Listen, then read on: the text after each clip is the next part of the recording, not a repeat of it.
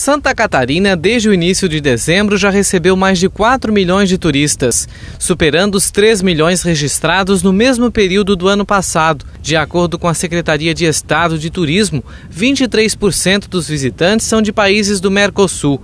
Um dos motivos para a vinda de mais estrangeiros esse ano é a alta do dólar. Eu acho interessante ter acontecido isso aí, porque eles vieram para cá e eu acho que vieram para gastar também. É, só que teve algumas eh, facilitações é, quanto à questão do, do governo ter liberado é, o gasto deles aqui. Antes eles tinham um limite de gastos e agora não, agora teve uma mudança nisso aí, eles podem vir para cá e gastar um pouco mais. Então o pessoal procurou vir para mais para a região, já gostam da região, a gente sabe de ter um histórico gigante do quanto eles vêm para cá e 2016, a é, nossa temporada aqui não está sendo diferente. Eles, eles realmente estão vindo e a gente está esperando ainda chegar mais turistas estrangeiros na nossa região. O real desvalorizado já duplicou a entrada de argentinos no estado no começo deste ano.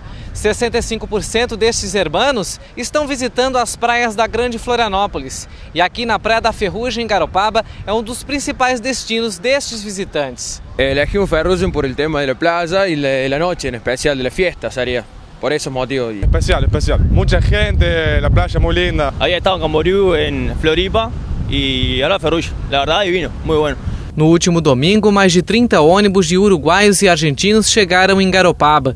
Eles vêm por meio de agências que fecham pacotes com hotéis e pousadas. O secretário de Turismo conta que a vinda dos estrangeiros já estava prevista e faz parte da projeção de 30% a mais de visitantes no estado nesta temporada. A gente sabe que o Réveillon, é, os turistas que vêm são vem muito paulista, é, turista do, do, da, da, parte do sudeste do Brasil e também os nossos amigos gaúchos. E e a gente sabe que esse ano, devido à questão do dólar, o pessoal acabou não viajando para fora do Brasil, acabou vindo é, para Garopaba, para nossa região no geral e procurando é, se instalar aqui.